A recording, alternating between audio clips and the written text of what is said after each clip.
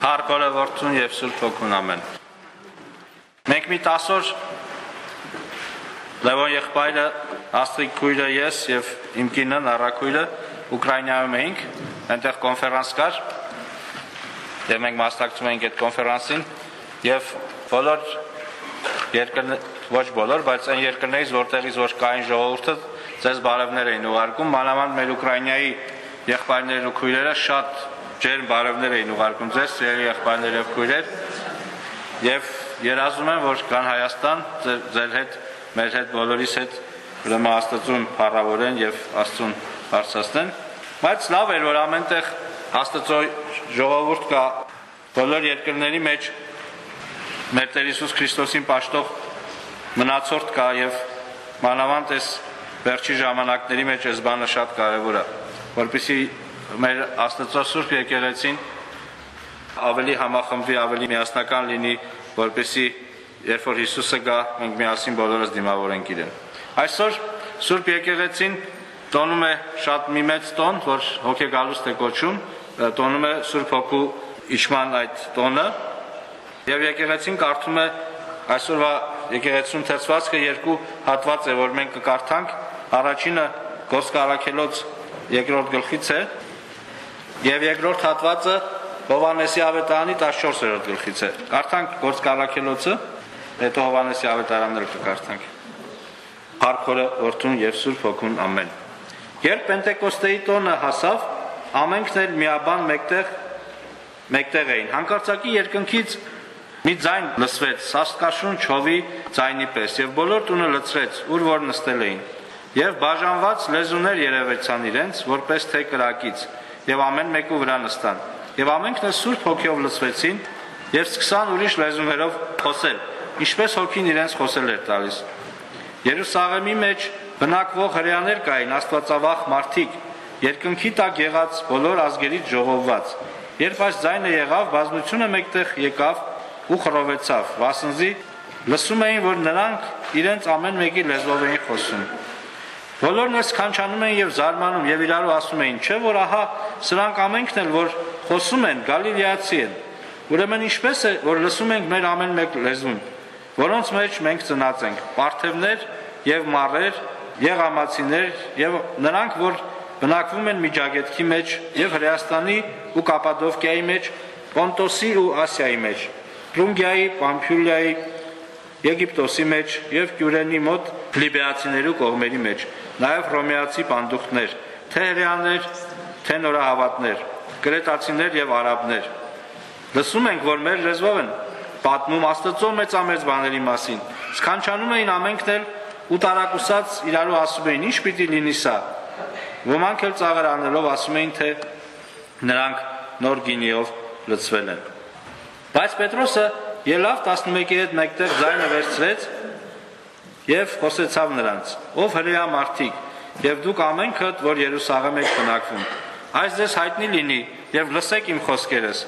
Քանզի սրանք ոչ թե գինով ցած են, ինչպես դուք կկարծեք, վասնզի դեռ օրվա երրորդ ժամն է։ Հապա Սա այն է, որ Հովել Մարգարեի միջոցով ասվեցավ։ Եվ պիտի լինի, որ վերջին օրերը, ասում է Աստված, Իմ հոգիս ամեն մարմնի վրա պիտի թափեմ, եւ ձեր տղաները եւ ձեր աղջիկները պիտի մարգարյանան,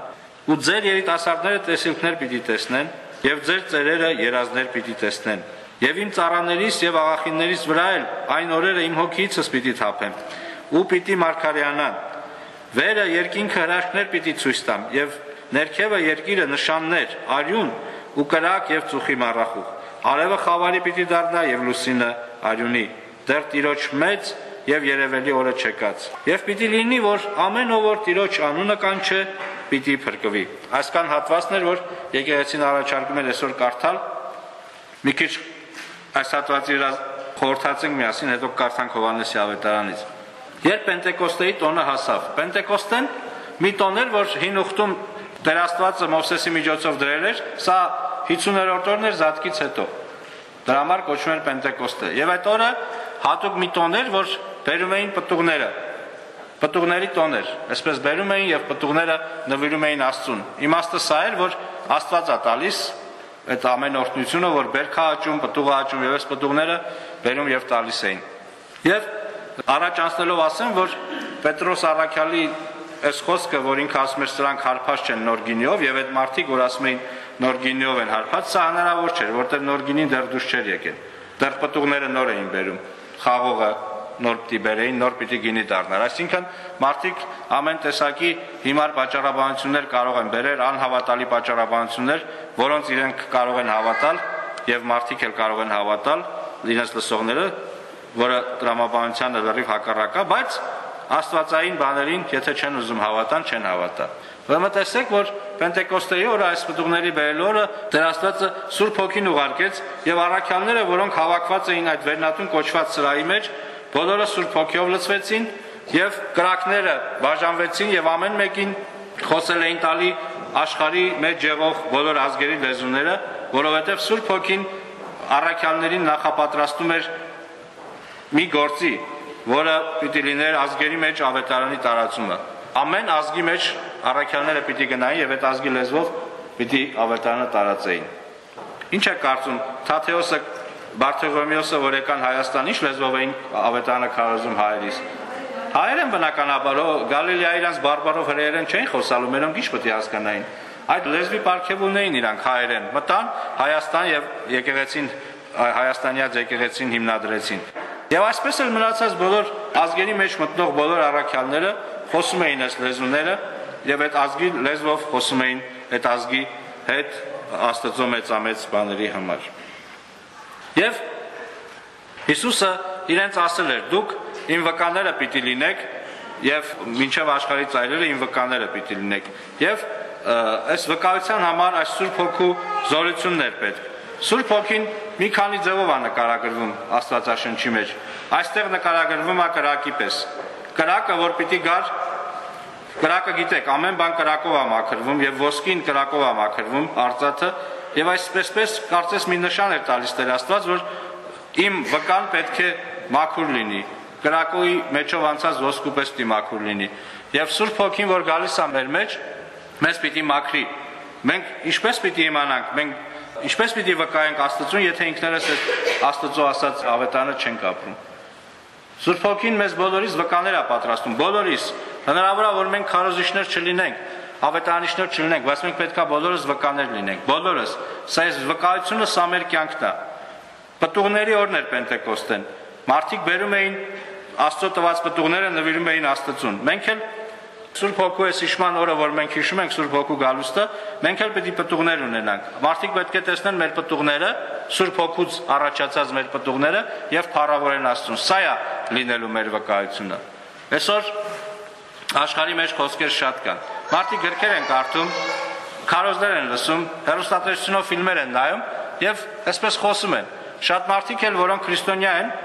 կամ ճակերտավոր քրիստոնյա են, շատ խելացի խելացի բաներ կարող են խոսալ, բայց սրանք վկայություններ չեն։ Սրանք խոսքեր են, որոնք կարող են ազդեցություն գործել, կարող են չգործել։ Շատ անգամ Տեր Աստվածը կարա անհավատի միջոցով խոսա մարդու հետ, կարա քրիստոնյայի միջոցով խոսա, կարա անասունի միջոցով խոսա, գիտեք, ամեն տեսակ Աստված հրեշտակի միջոցով խոսա, Աստված ձևեր շատ ունի, բայց վկա լինելը, վկան սա է, որ մարդը տեսնում է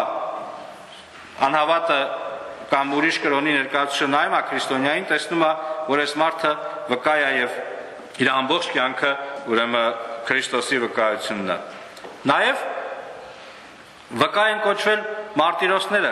որոնք Քրիստոսի հավատի համար ուրեմն իրենց կյանքն են զոհել, չարչարվել են եւ զոհվել են։ Սրանց վկաներ են անվանել եկեղեցին Քրիստոսի վկաներ։ Այսինքն իրենք ինչ որ խոսել են, իրենց կյանքով էլ են վկայել սրա մասին։ Նույնիսկ մինչև մահ հաստատ են մնացել եւ չեն չեն ուրացել Քրիստոսին։ Երբ որ կարդում ենք սրբերի կյանքը, երբ որ կարդում ենք մեր papերի, մեր հայրերի, հոգեվոր հայրերի կյանքը եւ իրենց վկայությունը, շատ ամաչում ենք, որովհետեւ տեսնում ենք, որ մենք այսօր չենք ուզում Քրիստոսի վկաները լինենք։ Մենք միշտ նախընտրում ենք, գերադասում ենք մեր հանգիստը, մեր մեր այսպես խաղաղությունը այս աշխարհի մեջ, ոչ թե Աստծո տված խաղաղությունը։ Այսպես բաներ ենք ուզում եւ դժվարանում ենք Աստծո վկաները լինել։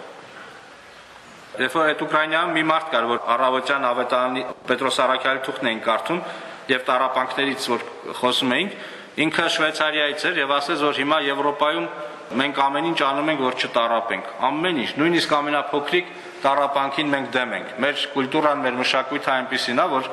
մենք պատրաստ չենք տարապելու։ Նույնիսկ ամենափոքր ցավը, գլխացավը կամ եսի մենք անմիջապես դեղ ենք խմում, որ անգամ նույնիսկ մի փոքր ցավ չզգանք։ Մեր տները, մեր մեքենաները, այսպես ասում եմ, այսպեսի մի մշակույթ ենք մենք ձևավորել, որ ոչ մի ձևով մարդը նեղություն չքաշի, ոչ մեկի կողմից, ոչ եւ այսպես ասում եմ, մենք սովոր չենք տարապանքի։ Եվ ցավոք սրտի, այս սովոր չլինը տարապանքի բերում է նրան, որ աշխարհի հոգին սկսում է ուտել եկեղեցին։ Եվ մենք տեսնում ենք թե արևմուտքում, թե նորից այստեղ տեսնում ենք, որ երկու տեսակի հոգի կա։ Մեկը աշխարհի հոգին է, հա?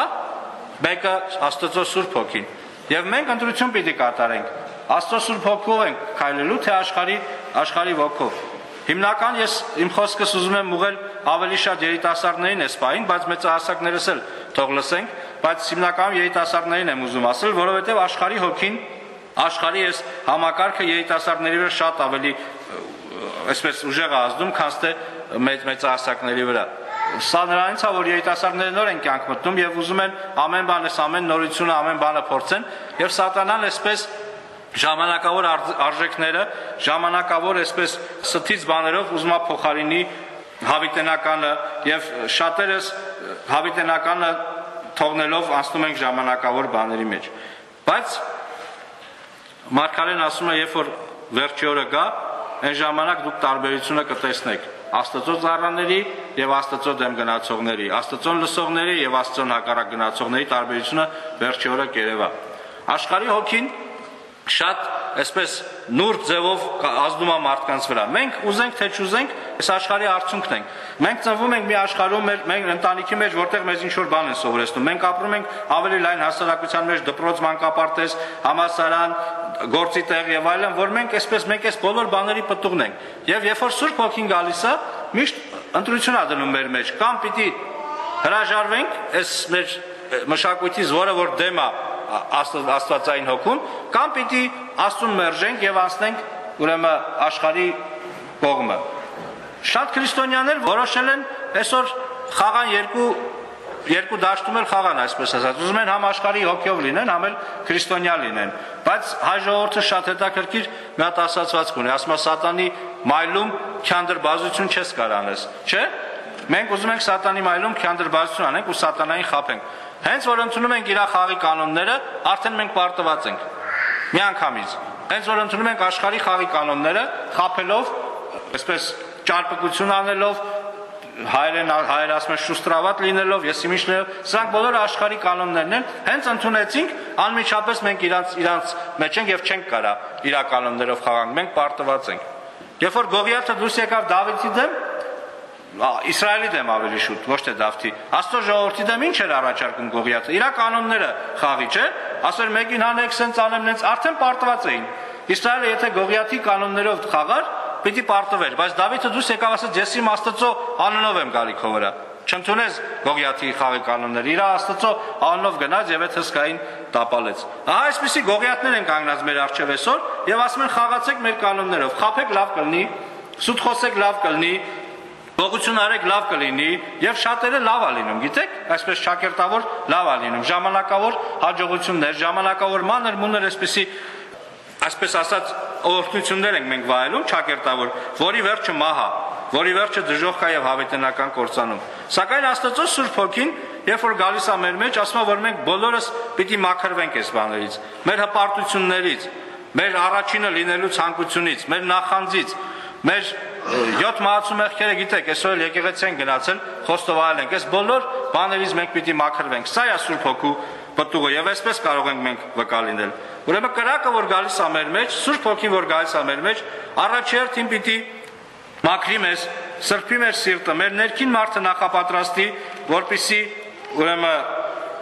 մենք կարողանանք Քրիստոսի վկաները լինել։ Ուզում եմ բացեմ գաղատացիների թուղթը եւ կարդամ այդ հատվածը, որը շատ կարևոր է մեզ համար հոգու ուրեմն եւ մարմնի այս տարբերությունը գաղատացիների թղթի 5-րդ գլխից պիտի կարդամ.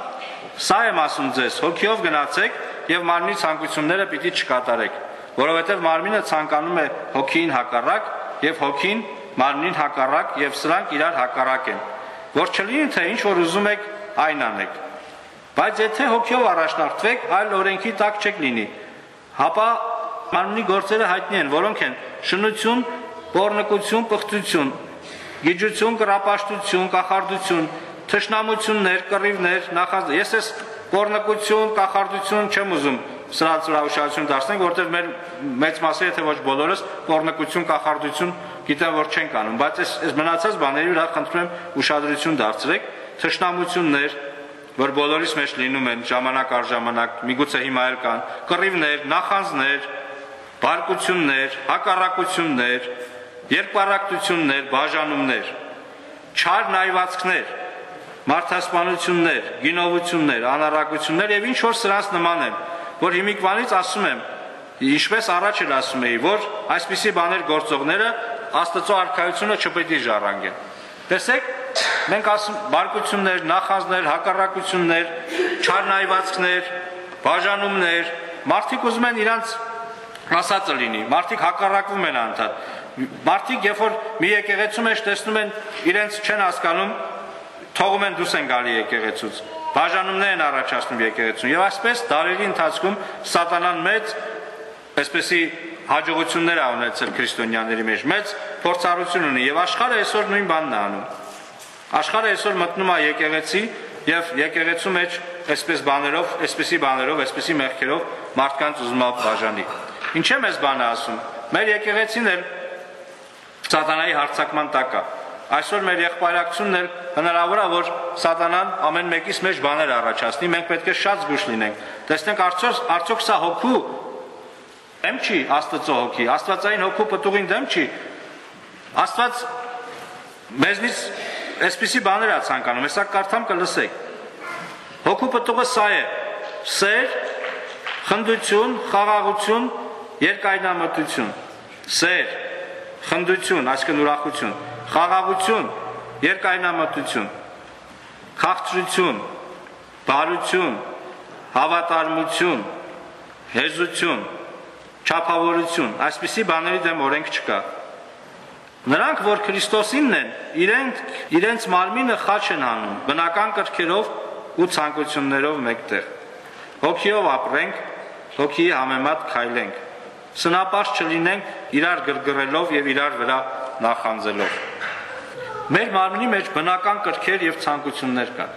Բնական կրքեր եւ ցանկություններ։ Ինչ է երիտասարդներին ասում, որովհետեւ հիմնական բնական այս կրքերը եւ ցանկությունները երիտասարդների մեջ շատ է։ Մենք քանի ծերանում ենք, այնքան այս բաները նստում են մեր մեջ, չնայած հիմա հիմա էլ նոր մոդ է, մարդիկ ամաչում են ասեն, որ իրանք ծերացել են։ Այդ նույն մարդը պատմում էր, ասում է Շվեյցարիայից գնում եմ Եգիպտոս, Ծեր մարդը էլի սպիտակ ընջիրներով, բան ասում է մարդիկ մոտենում են, ասում են՝ «Վայ, ես ինչ ջահել տղա ես, մի քիչ սպիտակ ես»։ Ոչինչ, բան ասում ես, ասես ճպտում են բանը։ Հիմա գնացի Եգիպտոս, շուտ Եգիպտոս էր, Կոնգո էր, լավ չեմ հիշում, Աֆրիկյան ինչ որ երկիր, Կոնգո երևի։ Ասում է՝ մի 20 տարի չէին տեսել ինձ։ Ասում է՝ տեսան ասին՝ «Վայ, ես ո՞նց ես ծերացել»։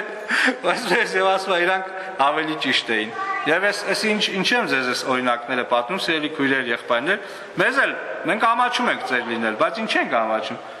Մենք ուզում ենք երիտասարդ լինենք, ուզում ենք այդ երիտասարդական ցանկություններով վառվել, երիտասարդական այս գրգռությունը, բայց Աստված ամեն տարիքին իր բանն ա դրել։ Եվ երիտասարդներին հատուկ զորություն ա տալիս, որ այս բաների դեմ իրանք պայքարեն։ Ասում է դուք երիտասարդներ զորավոր եք, ուժ ունեք, չէ՞։ Եվ դուք ուժ ունեք, որպեսզի պայքարեք բնական ցանկությունների եւ բնական կրքերի դեմ։ Մենք միջին տարիքի մարդիկս, մեծ տարիքի մարդիկս մեր մեր հատուկ զորությունն ենք ստանում Սուրբ Հոգուց, պայքարելու մեր տարիքի համեմատ եղած բաների հետ։ Ցանկացած տարիք իր խնդիրն ունի, իր խնդիրն ունի, իր բարդություններ ունի, բայց Սուրբ Հոգով լցված մարդը, Սուրբ Հոգու իշխանության տակ եղող մարդը միշտ հաղթական է դուրս գալիս։ Աստված մեզ ամեն հնարավորություն տալիս է սատանային հաղթելու եւ աշխարհի հոգին հաղթելու։ Եթե մենք Դավթի նման մեր Աստծո անունով գանք այս դժվարությունների դեմ։ Մեր Աստծո անունով ուզենանք հաղթենք, ոչ թե մենք հպարտանանք, ասենք ես ուժեղ եմ, ես զորավոր եմ, ես շատ բան գիտեմ, ես կհաղթեմ։ Իմացեք, որ մենք միշտ պարտվելու ենք։ Մեր հպարտությունը, մեր նախանձը արդեն պարտություն է մեր մեջ, որ սատանան եւ այս աշխարհի հոգին, այս աշխարհի ոգին կարողանում է բանանի։ Աստված վերջի ժամանակների համար մի հետաքրքիր հորդոր է տալիս մեզ։ Տեսեք ինչ ասում հայտնության գրքում։ Ասում է շուտով գալու եմ Հիսուսը։ Այն որ անիրավություն անում, թող անիրավություն անի։ Նա որ կեղտոտ է, թող կեղտոտ լինի։ Նա որ արդար է, թող արդար լինի, եւ նա որ սուրբ է, թող սուրբ լինի։ Ահա ես շուտով գալիս եմ, եւ իմ վարձքը ինձ հետ է։ Ամեն մեկին իր գործի համեմատ պիտի հատուցեմ։ Ես եմ ալֆան ու օմեգան, առաջինը եւ վերջինը, սկիզբը եւ վախճանը։ Երանելի են անոնք, որ նրա պատվիրանները կկատարեն,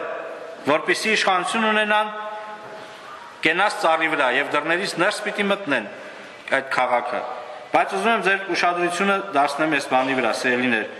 Նա որ անիրավություն է անում, թող անիրավություն անի։ Նա որ կեղտոտ է, թող կեղտոտ լինի։ Նա որ արդար է, թող արդար լինի։ Նա որ սուրբ է, թող սուրբ լինի, ահա շուտով գալիս է Տեր Հիսուս Քրիստոսը։ Սա ինչ է նշանակում։ Սա նշանակում է մենք վերջի օրերի մեջ ենք ապրում, Հիսուսը շուտով պիտի գա, մենք պիտի ընտրենք։ Կամ մենք պիտի կեղտոտ լինենք, կամ անիրավ, կամ պիտի մենք արդար լինենք եւ սուրբ։ Չենք կարա համ մի մի ոդկով այս աշխարհի մեջ լինենք, մի ոդկով Քրիստոսի արքայության մեջ։ Մենք պետք է վերջո օրերի մեջ մանավանդ վերջո օրերս եկեղեցին պետք է որոշումը կայացնի հստակ։ Կամ մենք է կեղտոտ ու անիրավ լինենք, կամ է սուրբ եւ արդար չենք կարող։ Եվ սուրբ հոգին է օգնի մեզ, որ մենք այս արդարությունը եւ սրբությունը մենք մեր կատարելագործենք։ Ես չեմ խոսում մեր գործելու մասին։ Բոլորս մեր գործում ենք։ Ես խոսում եմ հատուկ Աստծո դեմ պայքարելու հատուկ որ Աստված Սուրբ Հոգով մեզ ասում է, այս բանը մի արա մենք Աստծուն առամարում ենք, Սուրբ Հոգուն առամարում ենք, հայում ենք Սուրբ Հոգուն եւ մեր սրտի ուզածն ենք անում։ Սրա մասին է խոսքը, ոչ թե միամիտ մեղքի մեջ ընկանք կամ ինչ որ մեղքեր մենք բոլորս գործում ենք, մինչև մեր կյանքի վերջը մենք մեղավոր ենք լինելու, բայց Սուրբ Ավետարանը խոսում է գիտակցաբար Սուրբ Հոգուն հակառակվելու, գիտակցաբար մեղ գործելու, գիտակցաբար անիրավությունը պղծությունը ընտրելու, կեղտը ընտրելու, փոխանակ սրբությունը, մաքրությունը եւ արդարությունը ընտրելու։ Սրա մասն է խոսքը։ Մենք պիտի ընտրություն կատարենք։ Մենք չենք կարող երկու ոտքի վրա կաղալ, ինչպես ասում էր Առաքյալը, երկու ոտքի վրա կաղում ենք։ Մենք պետք է հաստատ լինենք, չենք կարող տարուբերվենք աշխարհային հովերով, կամիներով, հետո Աստծո հոգիով։ Երկու հոգի կա այս աշխարհում մեկը Աստծո հոգին, Սուրբ հոգին է, մեկը այս այս երկրի, այս աշխարհի ճարի հոգին, որը մարդը պիտի ընտրություն կատարի։ Եվ երբ որ մենք գնացինք այդ կոնֆերանսին, այնտեղ մարդիկ կային, որոնց հետ որոնք չեմ ուզում ասեմ որտեղից էին, չեմ ուզում անունները տան, որ կանխա մտածված այսպեսի բաներ չունենակ,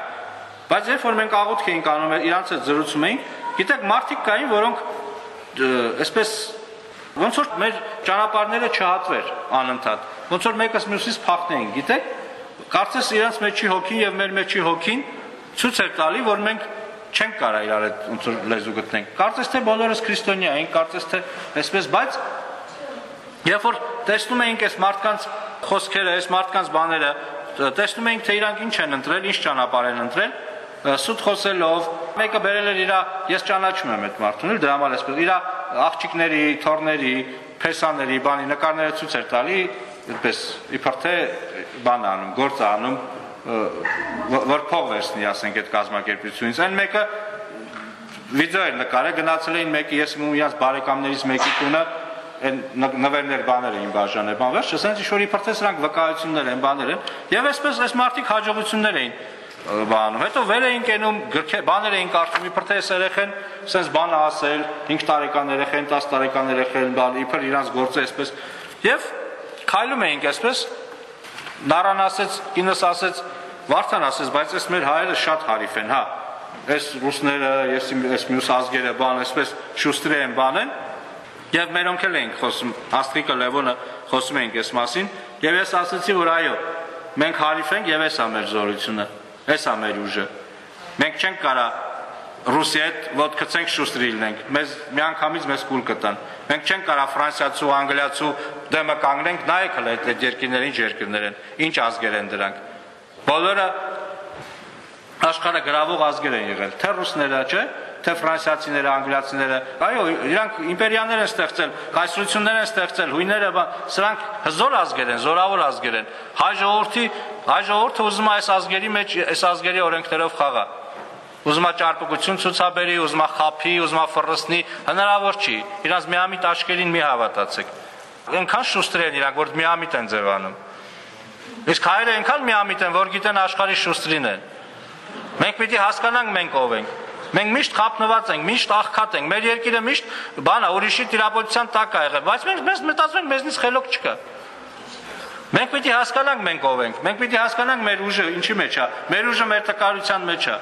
Մեր միամտության մեջ է, մեր հարիֆության մեջ է։ Այդ ժամանակը Աստված աշխատում մեր հետ։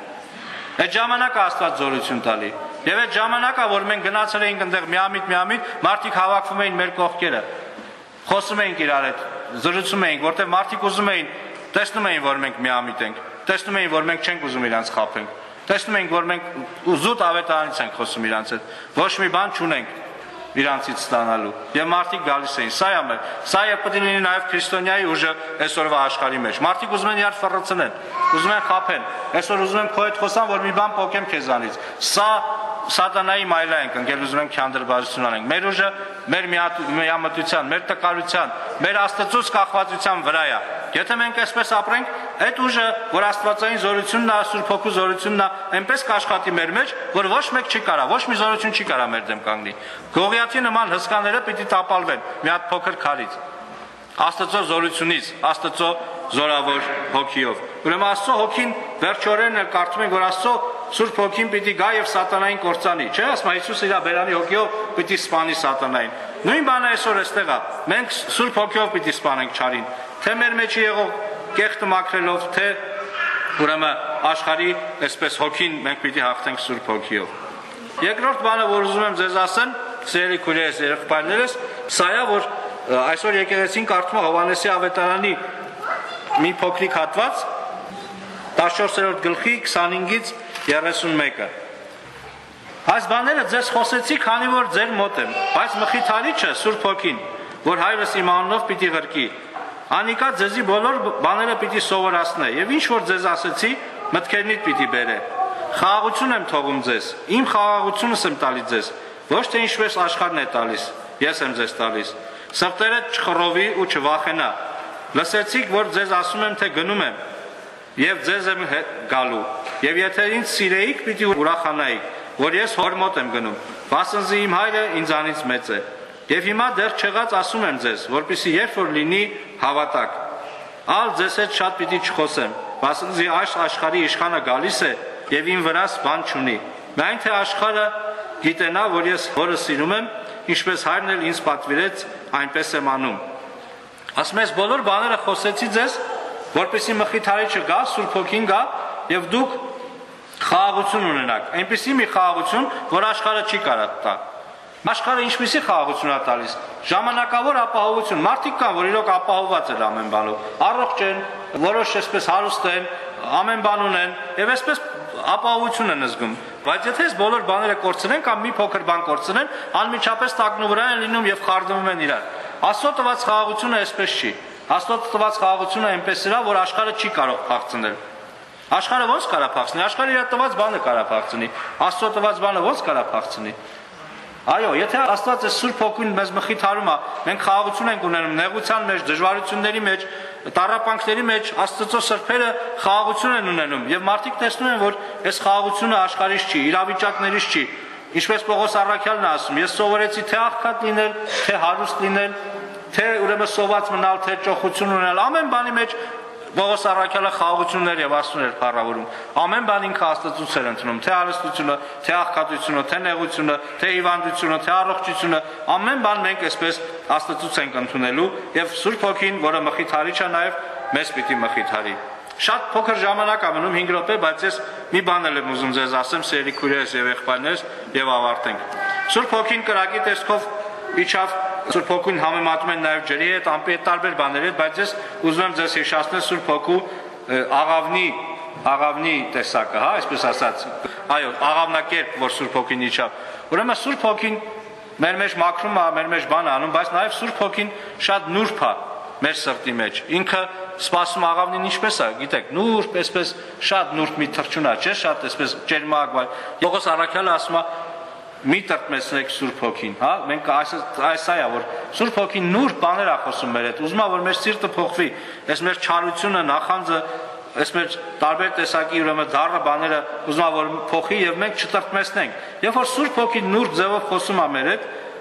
նուրբ ձևով մեզ բացատրում ա թե ինչպես ինչպես մենք պիտի վարվենք Աստծո հետ, մեր շրջապատի հետ, երբ որ մենք չենք տրտմեցնում Սուրբ Հոգուն, ահա այսպես մենք կարողանում ենք այս Պտուղները տալ, ինչպես սկզբից ասացի, Սուրբ Հոգու պտուղները՝ սերը, խաղաղությունը, խնդությունը, երկայնամտությունը, համբերությունը եւ գիտեք, այս բոլոր բաները, որ Սուրբ Հոգին տալիս է մեզ։ Կարևորը պտուղներն են։ Հրաշքներ, նշաններ, բժշկություններ, ամեն բան կլինեն կամ չեն լինի, սա էական չի, որովհետեւ զորությունները տարբեր են։ Մարդիկ կարող են թե Աստծո զորությունով հրաշքներ անել, թե սարի զորությունով հրաշքներ անել, թե աստծո զորությունով լեզուներ խոսել, թե չարի զորությունով լեզուներ խոսել։ Այսպես տարբեր տեսակի ուրեմն այս բաները կան աշխարհի մեջ։ Կարող է աստծուց լինի, կարող է աստծուց չլինի, բայց Սուրբ Հոգու պտուղը մենակ աստծուց է։ Մարդը չի կարա աստծո հոգին ունենա եւ ասենք Աստծո հոգու դեմ բաներ անի։ Մարդը չի կարող Աստծո հոգին ունենա եւ իր եղբորը ատի, նախանձի, բարկանա։ Մենք պետք է նայենք, իշքան է մեր մեջի չարությունը իշքան է մեր մեջ մեր մեջտեղ գրավում գրավում Սուրբ Հոգին։ Դրա համար երբ որ քահանան խորանից իջնում է եւ աղոթում ասում է Տեր Աստված լից մեր լից մեզ Սուրբ Հոգիով, մենք էլ որ աղոթում ենք ասում ենք Տեր Աստված լից մեզ Սուրբ Հոգիով, սա նշանակում է որ Սուրբ Հոգին պիտի գրավի մեր ամբողջ էությունը, մեր ամբողջ ներքին մարդը պիտի Սուրբ Հոգու կառավարության տակ լինի։ Մեր միտքը Մեր ցանկությունը աշխարհային հոգին չպետք է ղեկավարի մեզ։ Եթե մենք ամբողջովին Սուրբ Հոգիով ենք ղեկավարվում, ամեն մեր քայլը Սուրբ Հոգի հրամանն ենք կատարում, սա նշանակում է մենք լծված ենք Սուրբ Հոգիով։ Իսկ եթե մենք կիսատ պրատ քրիստոնեական կյանք ենք ապրում, ուրեմն մենք կիսատ պրատ էլ Սուրբ Հոգի ունենք։ Սուրբ Հոգին, այսինքն ինքը Աստված է, մենք չենք կարող բաժանենք, բայց մեր վրա ներգործությունը կիսատ պրատ է։ Մենք թույլ չենք տալիս։ Շատ շուտ դուրը բացում ենք չեր գալի ձմեռեր, հետո ամառ եկավ, մենք մտածում ենք սառուց ա եղել, բան դες բարակա գալիս, ամառել եկավ, չէր գալիս։ Վերտուննել